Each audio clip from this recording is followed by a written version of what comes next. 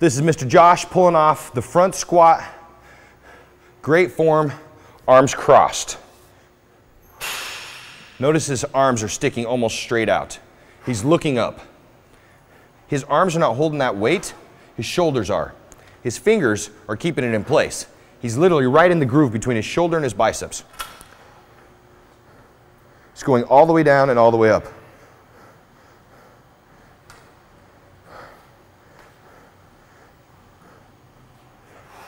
Love it.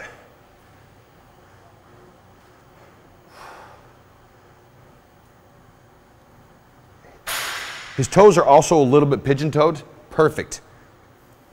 Allows him for a, a, little more of a full range of motion without his hip flexors hurting. Great set.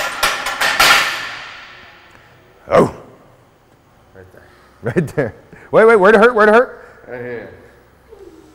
Okay.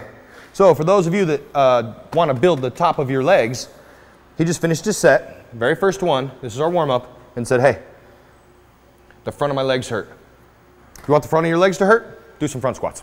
One of the things too about a front squat is if you don't really want to focus on building up your glutes or your ass like a little bit, I tend to focus on the front, do a lot of front squats because keeping a small waist with the front squats is kind of obsolete. They're a lot more difficult, but you won't get that. You get more of a narrower waist, and it's all front impact because the bar's on the front. So yeah.